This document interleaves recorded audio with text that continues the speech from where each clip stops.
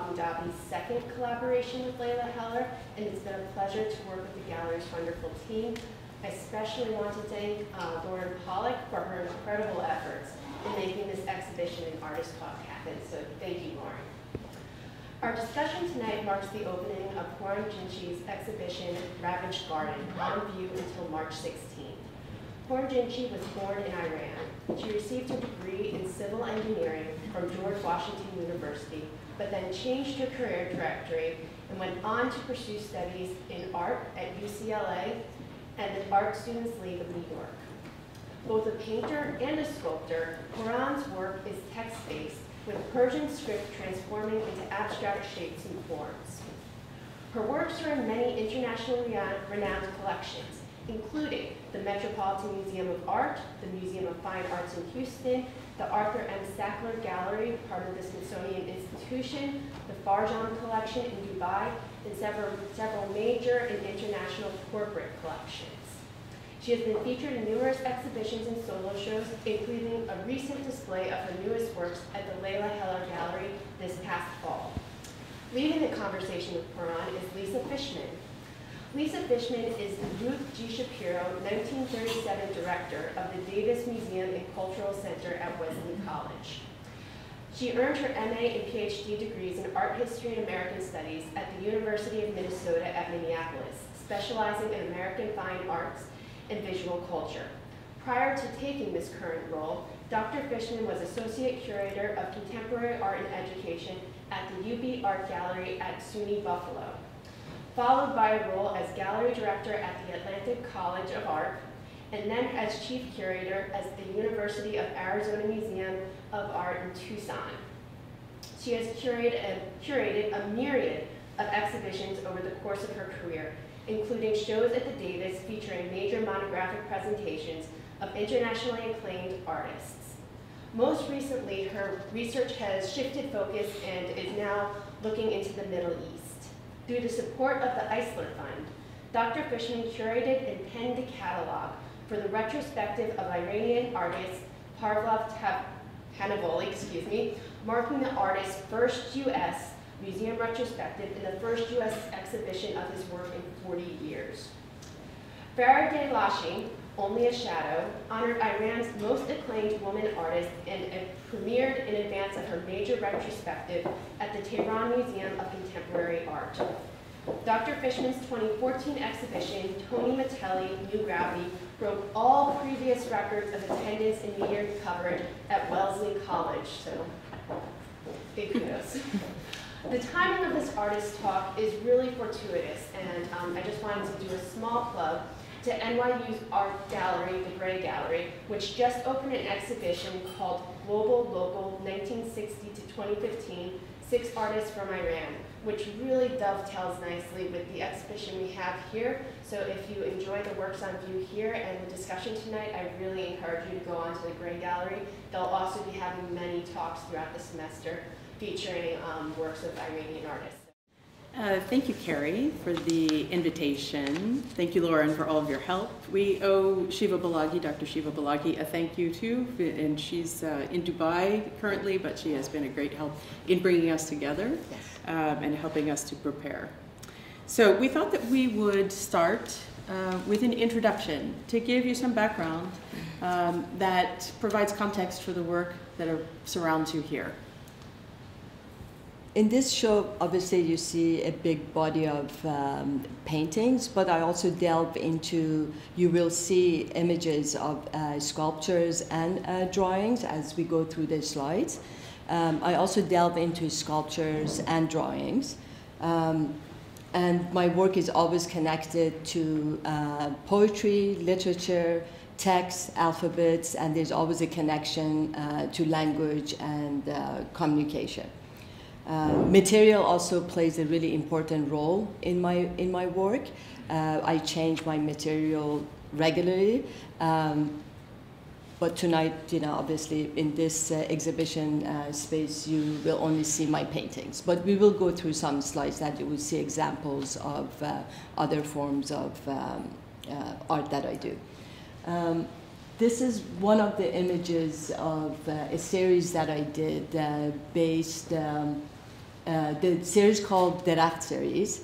And uh, Derakht basically means, uh, it's just as simple as um, in Farsi means uh, tree. Uh, it's a repetition of the word tree in Farsi, um, which creates a composition. And this, uh, all these uh, tree paintings are done in black. And the idea of it came to me very shortly after September 11th. Um, I wanted to do a series inspired by nature, by trees, um, but I wasn't sure. You know, obviously, as an artist, you always uh, uh, are affected by your environment, uh, events that are happening around you, um, and I just wasn't sure what I'm going to do with trees, going to paint uh, trees. Um, so one day, sorry, that's my phone. I didn't turn it on. um, so uh, on a trip to Long Island, um, as on a drive, uh, I noticed um, there was a big parcel of land uh, that was uh, caught on fire, um, and there were all these charred uh, trees and foliage. Uh, and as I was looking at all these trees, I'm like, okay, my trees are going to be black. And um, so basically, this is the beginning of the idea of, of doing this series, um, doing um, a series of trees uh, that are all black. And so you talked about um, sort of these notions of devastation, about the uh, kind of conceptual located inside the text as the text comes apart to create these forms. So there's a complicated layering that's happening, beginning with your experience and then translated through into uh, into these works. So okay, we'll move forward to um, the next. Uh, this series uh, are called Aleph series, and um, they're basically you only see. Um, I'm not sure how many of them. There's like I think uh, four, uh, like there's 16 of them here, but they're actually 96 of them, and uh, they're all um, Farsi alphabets. They're in black, red, and blue, and each set there are 32 of them. And basically, the idea of it was it was uh, English is such a, a dominant language uh, internationally that um, when we look at a language uh, that is foreign to us, we don't feel any connection to it. And my idea was, what if I bring some attention to the alphabets that are so unknown, you know, in a Western culture? Um, and I tried to bring um, materials to this series that kind of resonates um, learning as a child. And I use Elmer's glue ink, um, ink on this series because I kind of wanted to portray what is it like to learn from the beginning.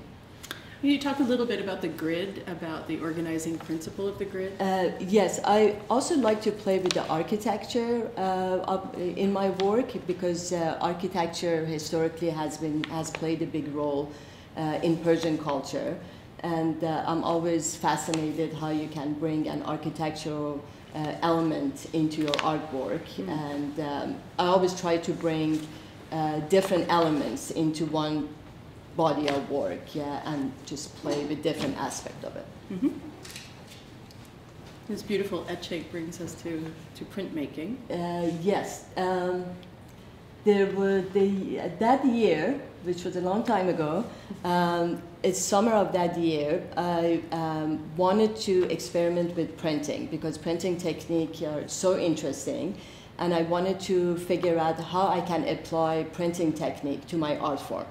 Um, so I basically spent the whole summer at the printing um, center and uh, just learned the technique and uh, basically realized because of my work, because Farsi text is written from right to left, it's not really possible to apply it in the same way. I kind of have to reverse uh, the writing um, to be able to create um, to create the um, etching. Mm-hmm. And it was a great uh, experience, and I'm hoping one day I'll uh, have some time to get back and um, experimenting more with printing techniques. formally, you described that this is a, an inversion, basically, of the tree, right? Right. Yeah.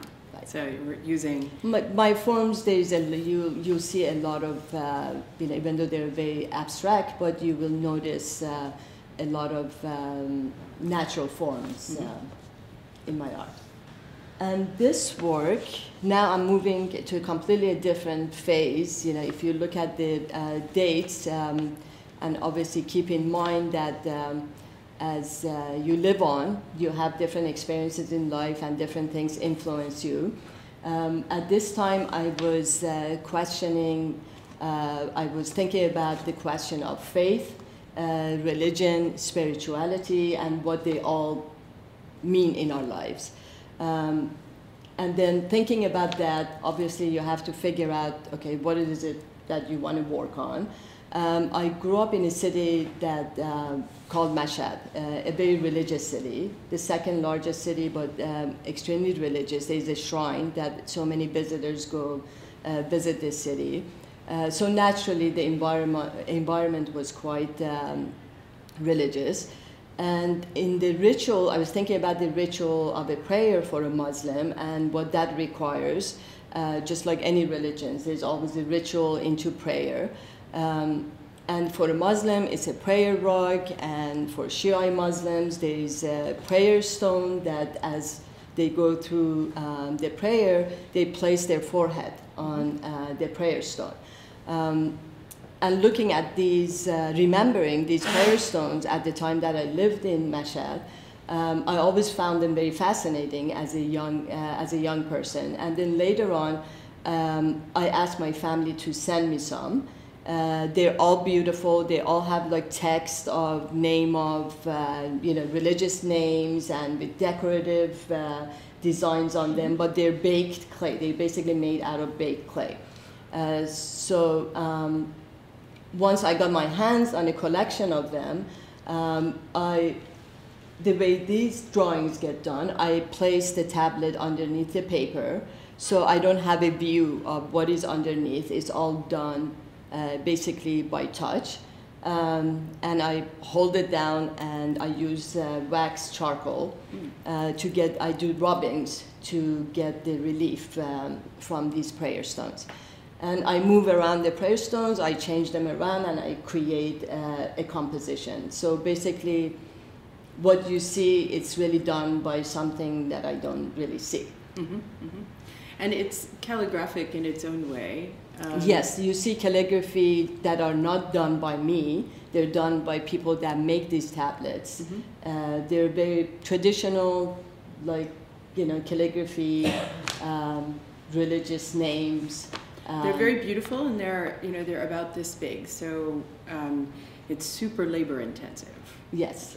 it seems extremely labor intensive to be moving that object underneath the paper and kind of calculating and trying not to make a mistake and trying to you know you have a you know you have a composition in your head and you're trying to achieve that composition but as you know while i'm doing that i'm not so sure uh, you know i'm moving something that i don't really see. And if i touch it and i do the rubbings you know it might be a big mistake. Um, there are mistakes but i think that's part of the art. And this work is also uh, a continuation of uh, the theme of religion that um, I've been working on. Um, this is basically um, uh, an exact copy of pages and pages of Quran um, done with ink on large uh, scrolls of paper. Uh, it's the exact copy. Uh, I have kept uh, the name of the verse, all the numbers. I have removed the words and only um, kept the diacritical markings. Um, to me, it was basically because my work is contemporary. To me, it kind of indicated uh, minimalist um, work, and uh, that part of it really appealed to me. Once I removed the words, I'm like, oh my God, these diacritical markings are so beautiful on their own, and um, um, and they're quite large and labor labors. And we talked about a little bit about um, Agnes Martin, about the sort of mark making and about the relationship uh, to kind of minimalist uh, ethos, let's say, practice, Mhm. um, that is also involved in this, this kind of uh, meditative quality you've got going on here in this, Yes, in this work. was definitely an inspiration for Mm. this work. And this work, this is an installation that I did as part of uh, this. There was an exhibition at MFA Boston, uh, which was called uh, uh, New Blue and White, and the idea um, for this exhibit was. Um, uh, basically gathering, curating um, a lot of artists that work with the concept of blue and white porcelain. Uh, blue and white porcelain has, you know, has been going on for centuries, and I realized as I was asked to do this exhibit uh, that cobalt was actually found in Iran, and then uh, in Iran they made pottery with cobalt. Uh, but cobalt went to China, and the Chinese being one of the best potters and the best in porcelain, they developed a lot of new techniques um, with porcelain. And then it traveled, the techniques traveled to Europe, traveled to South America, and as we all know, blue and white porcelain is a very common thing, but there is definitely an art form that goes into that. And in this exhibit, they were trying to show how this technique or how this idea still continues, how contemporary artists take that idea and they still produce a lot of work that are based on that idea. And I was asked to do a piece for this exhibit, and uh, this is basically the prayer stones that I used for the drawings that you saw earlier. I basically recycled and made them and painted them in lacquer, white and um, blue and white lacquer, and made them into an installation uh, which was the concept of it was, uh, you know, again, spirituality because of the prayer stones. It's extraordinarily beautiful. I saw this at the MFA long before I met you, so uh, it was kind of an introduction to your work that way. Uh, I continue working with the religious theme um, in this work, um, which was done in 2013, not too long ago. Uh, this is basically layers of uh, plexiglass. Um, they're all, all, the blue lines that you see. They're um, they're text from Quran. So basically, this whole sculpture is the whole book. The whole book, 605 pages of it. From the you know, it depends, I guess, on your book. The book that I was given uh, from my mother to me uh, had 605 pages. So these are layers and layers of the whole book written on layers of plexiglass. And the outside of uh, plexiglass, of each uh, plexiglass sheet, are painted in stainless, uh, stainless paint, stain, um, glass paint, because I was looking for a material that kind of uh, is transparent and you can see through. And that was the best material that I could find. And this cube-like shape is placed on a plant that has light underneath it. So basically, when you view this work, which is actually at Pratt Institute um, at the Library in Art and Architecture department, if any of you ever come across uh, um, Pratt and you um, ever visit uh, Pratt. Um, so the idea of uh, making a Quran was uh, there's uh, historically there's always been everyone knows that there's always these beautiful Qurans done throughout uh, history. And for some reason, at some point, contemporary artists are not that interested uh, to make uh, contemporary Qurans. And to me, that was fascinating. I'm like, why did that stop? I mean, you know, bookmaking, mm-hmm. whether religious or not religious, you know, is such a beautiful uh, platform. Um, so I decided to do this work, but I wanted to have some meanings. If it's not just um, basically rewriting Quran on plexiglass. Uh, that's why I brought in the elements of transparency and light uh, to convey my idea of what a contemporary Quran is um, to me.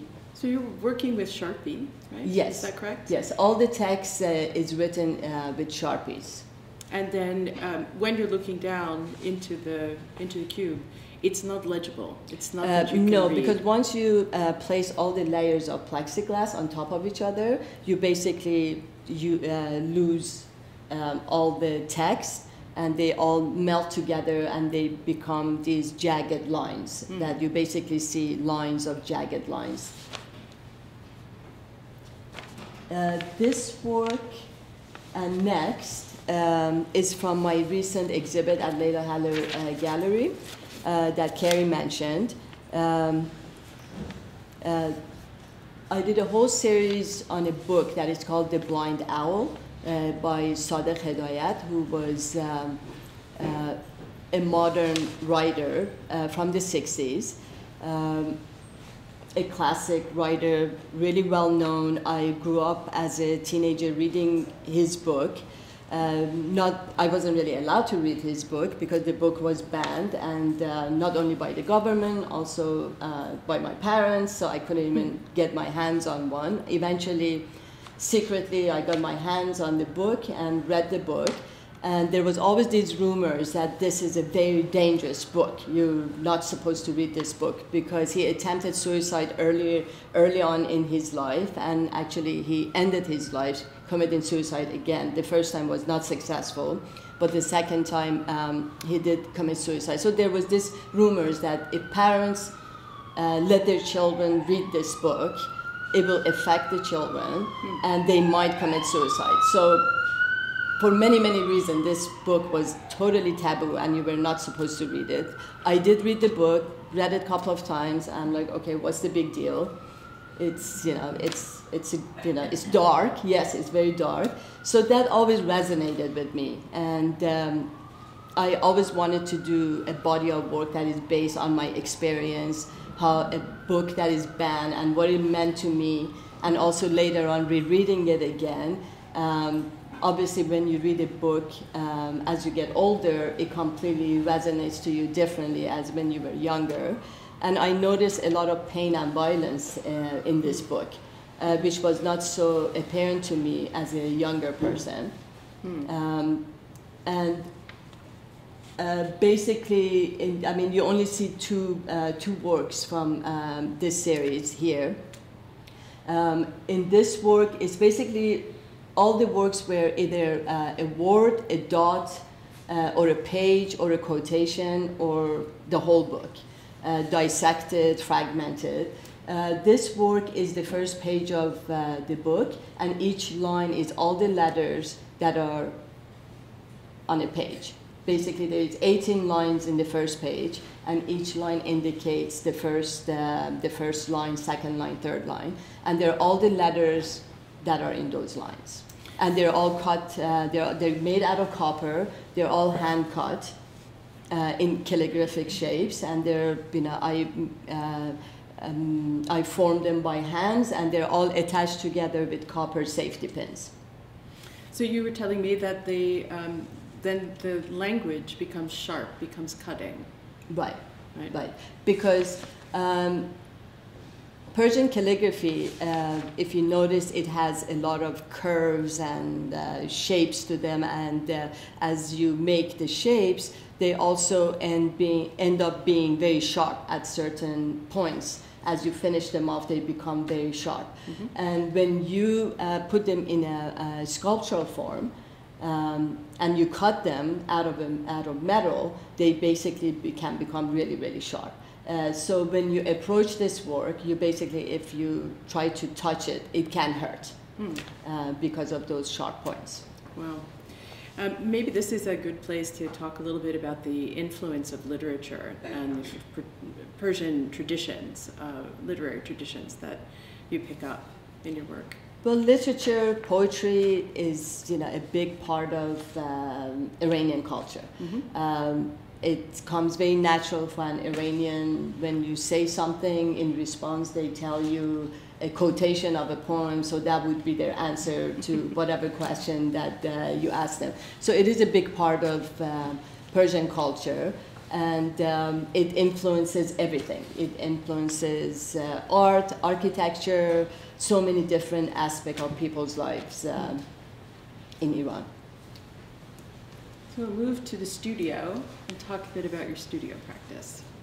Um, my studio practice is uh, because I always work on series. Uh, I always have, whenever I'm finished, I always have to clear everything off, kind of, you know, like put them away because I don't want to be looking at something that I finished. Uh, it just clears my head when I don't have too many things from previous things hanging around.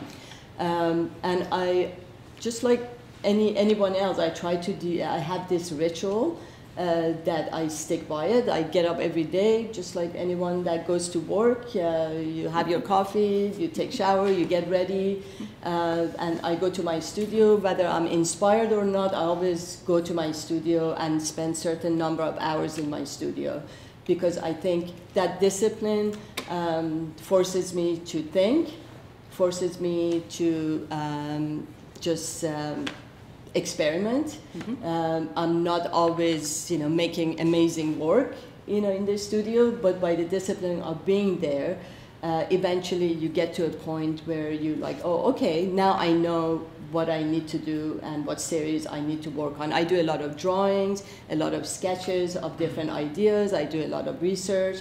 I experiment with material until I get it to a point where I'm like, okay, now I'm ready to delve into the new series. Mm-hmm. That's great. Um, talk a little bit about your inks and about the um, I, blending. I use a lot of inks uh, in a lot of different series that I've done, um, and I uh, treat ink as uh, any paint. Uh, I mix them. I make my own colors, um, and I just treat it like paint. I noticed you have. I mean, you have a lot of notebooks and it's very clear from looking through them that you're you're working through um, ideas that we, we, were talking about this yesterday that um, sometimes they just don't work. Sometimes right. they don't work. Um, and the sort of evolution of these projects is really um, spectacular and interesting to see. Um, so we know that when we're looking at paintings like these these are coming from a very long process of development it seems to me. Right Right. It always starts from an idea, um, and uh, it ends up with uh, you know I just keep drawing and drawing, experimenting with material, making uh, making testers. Like I mm-hmm. test things out uh, before I really start the actual work. So this brings us to the work that surrounds us, the ravaged garden. Uh, this group of paintings um, there's really three when i was working on this series there was there's really three components that goes into making these paintings.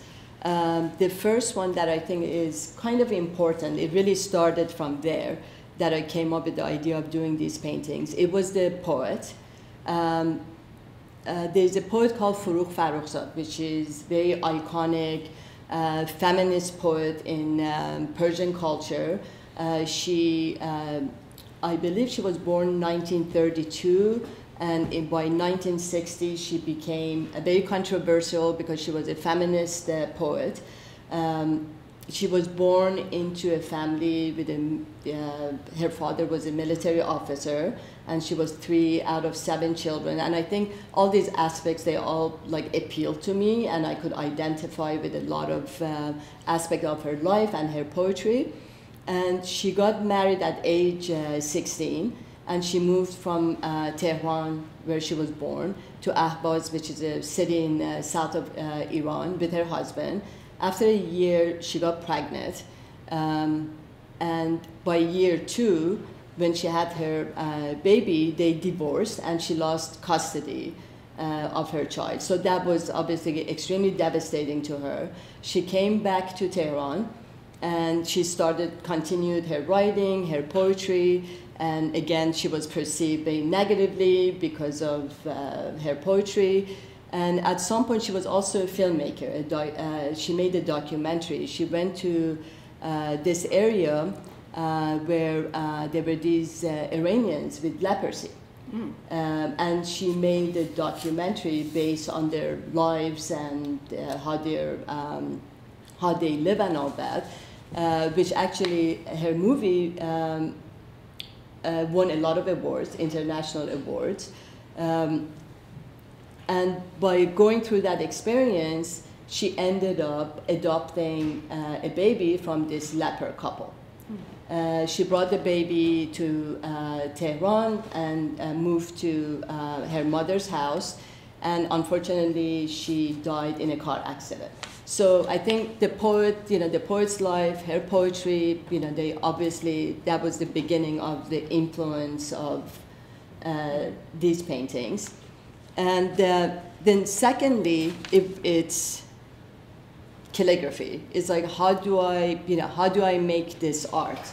Uh, my work is calligraphy based. I'm very fascinated by her poetry, her life that she lived, and uh, uh, symbolically what she means to the culture and to the society. But I didn't really want to just write her poetry on a canvas.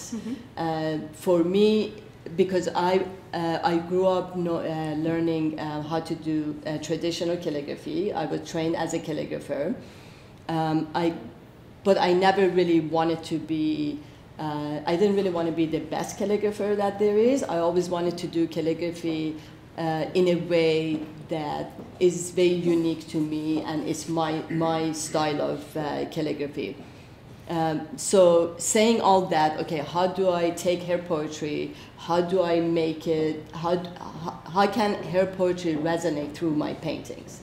Um, so basically, by fragmenting it, uh, by dissecting it, separating, um, separating par- uh, parts of calligraphy elements out of the text, out of each poem, and creating a composition um, where it basically creates a tension uh, between um, traditional calligraphy and abstraction, creates a feeling, a mood. And that's what I basically tried to achieve uh, on the calligraphy part. And also, while I was doing all that, because she uses garden uh, as a metaphor of life in a lot of her poetry, uh, because again, garden is a very big part of uh, Iranian culture. Uh, not just Iranian, gardens are rather universal. And, um, you know, we have the Romans, Ottoman garden, Japanese garden. Garden is very symbolic uh, to a lot of cultures. And uh, in historically, gardens are um, rulers and um, rulers and kings. They always use these royal gardens to basically show their power. Um, and uh, melted with the landscape of the cities that they, uh, they were building. And in a private life, also garden means a place where people go gather with their family, with their friends, to basically develop intimacy, to develop a, uh, closeness with their family and friends. So because she does use a lot of metaphors as garden, I also, as I was doing this, thinking about a garden and what happens to a garden when garden gets neglected, whether it's um, a, gar- a royal garden, whether it's a private little backyard garden. What does it happen? What does it happen when something disastrous goes on? Whether it's wars, environment, um, displacement. Um, so keeping all those elements in mind, that's where I came to do these uh, paintings. Can you speak a bit about the relationship between the text and the image, say in this in this work? Uh, this is a part of uh, one of her poems, um, and I do many layers of writing on top of each other to create the composition, and uh, sometimes to create a feeling, I take a word or a letter or a portion of a letter. Uh, it kind of escapes uh, escapes the composition.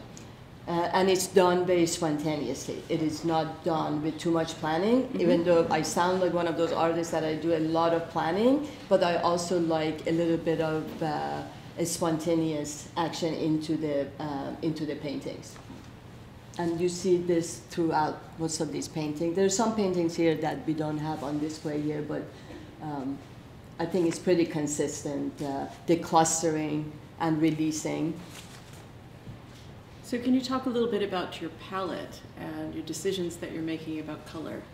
Uh, okay, palette is also another thing that I'm a little bit uh, too controlling about. um, I, it's kind of predetermined. Like every series that I do, I kind of have a palette in my head Mhm. uh, that what that palette is going to be. Um, whether it's a range of uh, blues and greens, and at times I bring a little bit of um, you know uh, contradictory colors into it, just um, to humor the painting. Mhm. Um, but usually it's pretty much predetermined what my palette is. So this form, this kind of swelling, what's happening here? Um, imagine a garden with See um, these on the back wall? uh, it's a ravaged garden. Yeah. It's a ravaged garden. Do you think this is a, a dystopian view? Um, a view of chaos and sort of neglect and um, dissolution?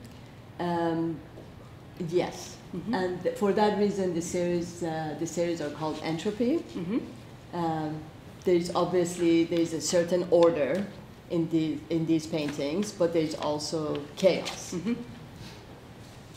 Well, we talked about um, the fragility of the world, of taking on this topic and taking on this um, incredibly important uh, piece of poetic um, history and transforming it um, into, um, into paintings that are both uh, beautiful and carry a kind of weight that maybe isn't um, immediately apparent. You know, you're beguiled by beauty, and then there is uh, something much darker happening at work.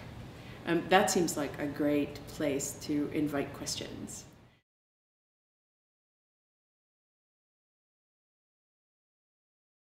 Um, yes. I saw the fabulous Iranian artist Short Great Gallery, and I was just struck by how much calligraphy is such an integral part of it, as opposed to Western art, where it's a purely visual experience. And I was wondering whether, um, is it historical and cultural, or does aesthetics come into play? Because your alphabet is just so fantastic, so much prettier than our Western alphabet. Uh, yes, it's definitely history. There- there- There's an art form of calligraphy um, in certain parts, in some cultures, that it doesn't really exist in the West. For example, we have Japanese calligraphy, we have Chinese calligraphy, Persian calligraphy, Arabic calligraphy, North Africans.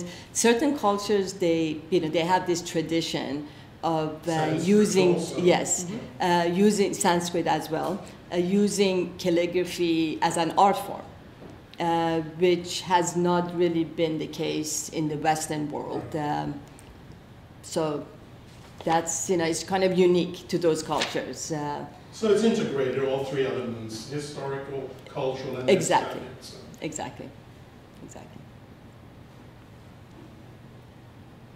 What's your favorite um, character? Uh, sorry, favorite, Favorite uh, um, calligraphy word, letter? Which is your favorite? Uh, in Latin, in, in, in your language. the favorite word, Aleph uh, Aleph is definitely uh, my favorite, yes. I've done a whole series on Aleph because Aleph is the first letter um, of the alphabet. Um, it's also uh, the first letter in Hebrew, in Farsi, and in Arabic, and there's something about that that appeals to me.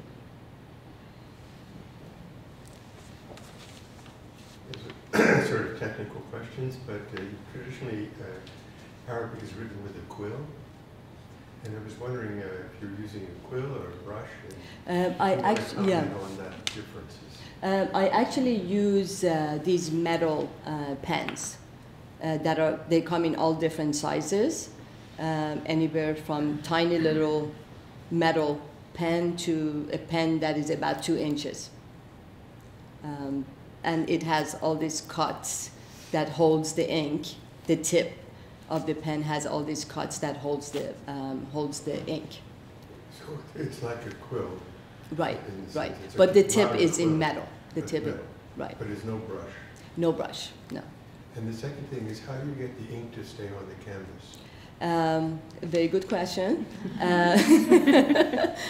uh, I work on them on the floor, on the table, because if I stand them up, the ink will uh, will drip. Uh, so every layer of uh, calligraphy that I do, every uh, layer of writing, uh, it's usually done on the floor or flat on the table. Mhm. Thank you for your wonderful talk and the beautiful work you've talked about. Thank you. I'm very curious about the different resonances that your work has for people who can read Farsi or at least make out the letters, uh, and those of us who can't. And whether in the reception of your work you have some knowledge of this, whether it has come to you, or whether you even hope that someone who can read these reformed words, we see these reformed and reworked words and, and beautiful abstract forms drawn out of them, whether you, the intention is for someone who could read them to pick up sort of poetic uh, say, or little fragments, or whether that's really not what you're after, whether you really see these as the, the letters as something that allows you to do various kinds of abstract experimentation. Um, it's really the latter. Um, I really see uh, all these shapes and forms and the calligraphy as brushstrokes. I don't really see them as um a text. Uh, once they're done, the text was really the inspiration where it got me started. Um, and when I'm done, it's not really, I have moved away from the text. And they really, every uh, word and every, uh, every letter that is there, they're really just uh, a brushstroke. If you view them as just a brushstroke, then they don't look so far into you anymore. So you start off with a historical, cultural thing, and then you end up with a pure aesthetic. Yes. Yeah. Thank you so much for your talk.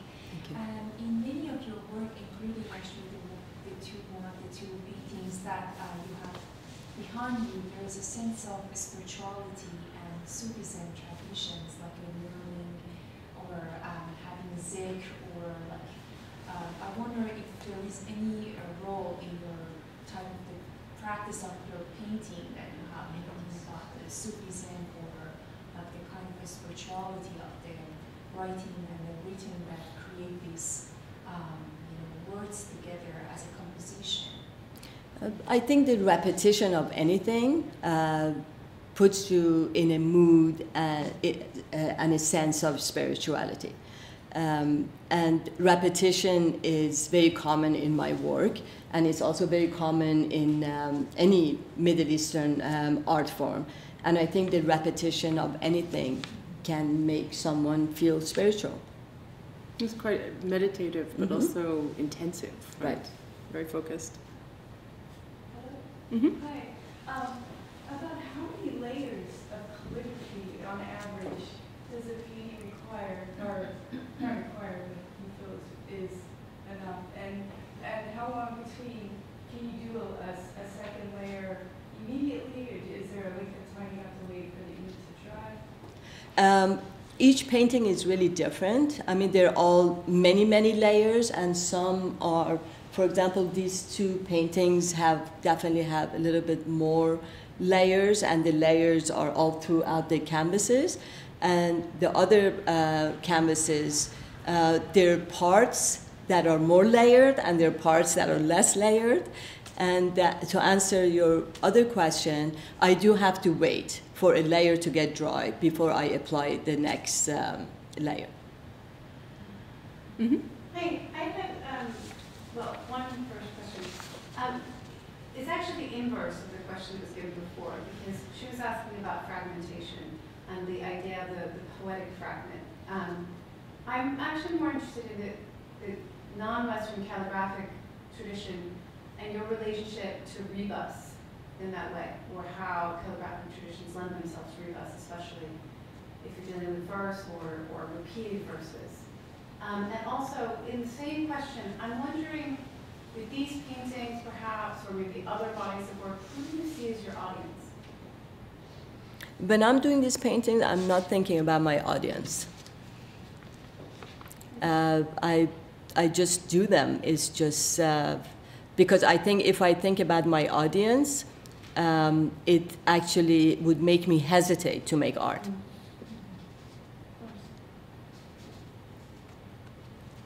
You know, we were, we were talking about that too, about this notion of um, intelligibility, of reading, and of, instead of reading, uh, sort of putting poetry into painting, right? Writing poetry into painting in this, in this way that um, both claims a tradition and intervenes in it, which I think is interesting. And doing that, I, I would suppose, um, involves something you described as, um, uh, you know, a process that is not in, that you're not entirely in control of. The outcome is not assured as you embark. Right. Um, and I would imagine that that's, you know, in this moment in history, it's as true about your audience. Um, you just don't know. You don't really know. No, I, I have no idea who would view the works and how it's perceived, and um, you know, to think about all those elements. Mm-hmm. Um, you know, for me, it's basically useless because I think uh, one should not allow that to affect what you do. Mm-hmm. Anyone else? I, oh, yeah. Mm-hmm. Just out of curiosity, have you ever done a grid with the entire collection in ninety-six, or just the sixteen? Uh, sorry, th- Have you ever done a grid, you know how you had the sixteen paintings of the collection ninety-six? Have you ever Mhm. done the entire ninety-six? in a yes, grid? I have. There, uh, 96 of them are done. Yeah, but they're just not. We just don't have an. I didn't have an image of uh, all of them together. All right. Could you tell us uh, what's next? What's Um, yes, I'm um, working on a piece that is going to be exhibited at the Frieze uh, Art Fair in May in New York. And I'm also embarking on a whole new series um, that I will be exhibiting next year, uh, May 2017 in Dubai. Great. So um, I'm busy. Yes, seems like. So, I mean, of course, artists are planning way ahead and But- working on series way ahead, and particularly when you're putting things on a boat to go to Dubai, you're way, way ahead. Yes, as uh, we were talking about this yesterday, people think artists they don't have deadlines, Right. uh, but we have deadlines. yes, exactly. Anyone else? Thank you all so much for Thank being you. here. Thank you for attending.